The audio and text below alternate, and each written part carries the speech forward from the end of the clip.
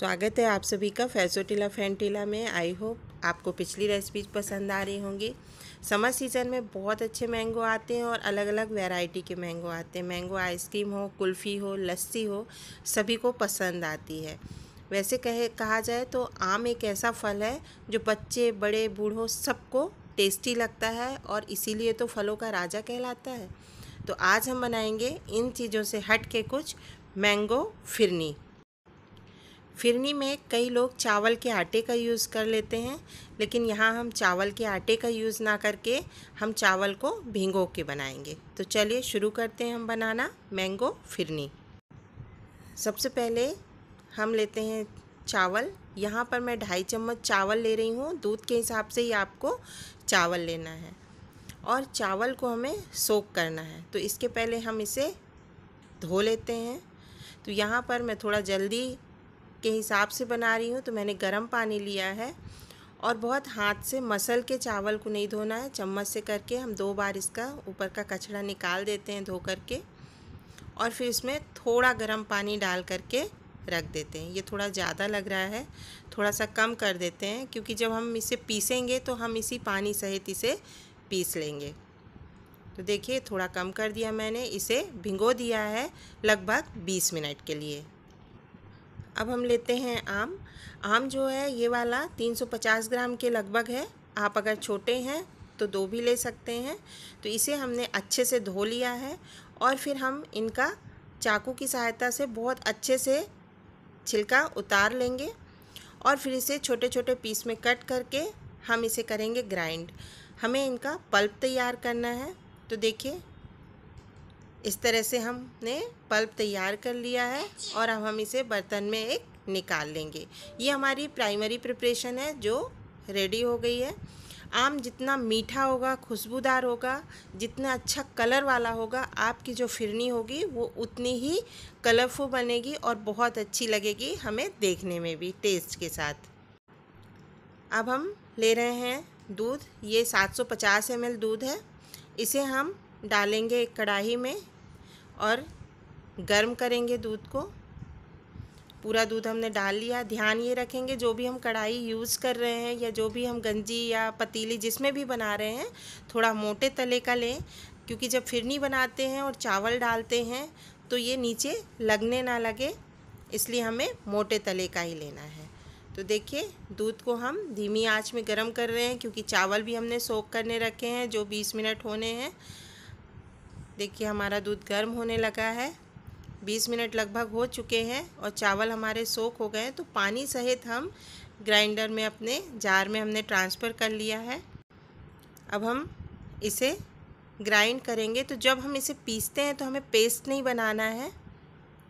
हम इसे दरदरा पीसेंगे, क्योंकि इसे अभी हमें दूध में पकाना है। अगर एकदम बारीक हम पीस लेते हैं तो फिर हमारी फिरनी उतनी अच्छी नहीं बनती है और ये जो चावल होता है, वो लेई की तरह चिपकने लगता है। तो देखिए, इस तरह से हमें थोड़ा दरदरा ही पीसना है। तो ध्यान से पीसें और इसे हमने निकाल लिया है एक दूसरे बर्तन में। दूध हमारा, देखिए, बॉयल होने लगा है। अब हम इसमें जो हमने चावल पीस के रखा था धीरे धीरे डालते जाएँगे और दूसरी तरफ़ चम्मच से हम इसे चलाते जाएँगे। ध्यान रखें, जब चावल इसमें डाल रहे हैं आप पिसा हुआ तो कंटिन्यूसली हमें इसे चलाना है और फ्लेम जो है, वो हमें बिल्कुल लो ही रखनी है। और बढ़िया से हम एकदम कॉर्नर से चलाएँगे। देखिए अभी कितना पतला दिख रहा है और पकने के बाद देखिएगा। आठ से दस मिनट हुए हैं इसे। पकते हुए देखिए, पूरी मलाई बनने लगी है कॉर्नर में। चावल हमारा थोड़ा थोड़ा ट्रांसपेरेंट दिखने लगा है। तब तक हमें पकाना है, जब तक कि चावल जो है वो पूरी तरह से ट्रांसपेरेंट ना दिखे और समथिंग लाइक ये खीर की तरह ही बनता है। देखिए, कितना अच्छा दिख रहा है। चम्मच में ही समझ में आ रहा है हमें कि हमारी जो इसकी खीर है पहले, फिरनी की, वो रेडी हो गई है। चाहे तो आप इसे हाथ से भी टच करके देख सकते हैं कि चावल हमारे पके हैं या नहीं पके हैं। इसीलिए हमने इसे दरदरा पीसा था। देखिए कितना बढ़िया दिख रहा है ये। हर दाना, चावल का जो छोटा छोटा टुकड़ा है, वो अलग ही हमें दिख रहा है। इस तरह से हमने उंगलियों में लेकर के देख लिया। चावल हमारे पूरी तरह पक चुके हैं। अगर आपको लगता है कि अभी नहीं पके हैं तो इन्हें थोड़ा और करें। देखिए, कॉर्नर में इस तरह से पूरी मलाई जमने लगती तो मलाई को भी हम ट्रांसफ़र करते जाते हैं बीच में और अब हम इसमें ऐड करेंगे शुगर। शुगर यहाँ पर जितना आपने चावल लिया था, उसका डबल लेंगे। लेकिन मैं यहाँ पर चार चम्मच मैंने डाल दी है। मैं पाँचवा चम्मच नहीं डाल रही हूँ क्योंकि आम जो है वो बहुत ही मीठे आम है ये। तो आम एक बार आप ज़रूर टेस्ट कर लें। अगर कम मीठे आम है तो शुगर आप उसका डबल डाल दें। जैसे ढाई चम्मच चावल था तो पाँच चम्मच मैंने डाल दिया। शक्कर पूरी तरह से इसमें मिक्स हो गई है। अब हम गैस को बंद कर देंगे। और अब इसमें हम ऐड करेंगे मैंगो पल्प थोड़ा ठंडा होने के बाद ही हमने ऐड किया है दो मिनट इसे। हमने ऐसे ही छोड़ दिया था। और अब हम मैंगो पल्प डालते जाएँगे और इसे चलाते जाएँगे फिरनी को। पूरा मैंगो पल्प जो था वो हमने इसमें ट्रांसफ़र कर लिया है और इसे अच्छी तरह से चला करके मिक्स कर लेंगे।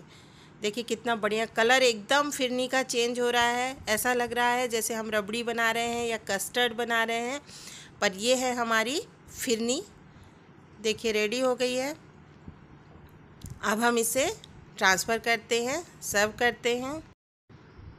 इसकी कंसिस्टेंसी देख लीजिए, इतनी ही रखना है। एकदम अगर हम और पका देंगे तो ये और ठीक हो जाएगी जब ठंडी होगी। तो रेडी है हमारी फिरनी और हम इसे ठंडा करके खाएँगे। तो जब हम इसे निकाल लेंगे किसी पॉट में, बर्तन में सर्विंग बाउल में तो हम इसे आधा घंटे से लेकर एक घंटे के लिए फ्रिज में रख देंगे। फ्रिज में रखने से हमारी फिरनी सेट भी हो जाती है और ठंडी भी हो जाती है, जो बहुत ही टेस्टी लगती है। आइसक्रीम रबड़ी को फेल करती है ये मैंगो फिरनी। अब हम इसे गार्निश करेंगे पिस्ते के साथ में, रोज़ पेटल के साथ में। आप इसमें बादाम या मन चाहे ड्राई फ्रूट्स डाल सकते हैं। एक घंटे हो गए हैं, फ्रिज में मैंने रखी थी, फ्रिज से मैंने निकाल ली और देखिए कितनी बढ़िया मैंगो फिरनी दिख रही है। एकदम ठंडी और अलग टेस्ट है आइसक्रीम से। तो ज़रूर आप बनाएँ। पसंद आएगी सबको। और अगर आपको ये रेसिपी पसंद आती है, आपको ये टेस्टी लगती है, बनाने के बाद तो वीडियो को ज़रूर एक बार लाइक करें शेयर करें चैनल को सब्सक्राइब करना ना भूलें। मिलते हम एक अलग नई रेसिपी के साथ में। तब तक stay home stay safe take precaution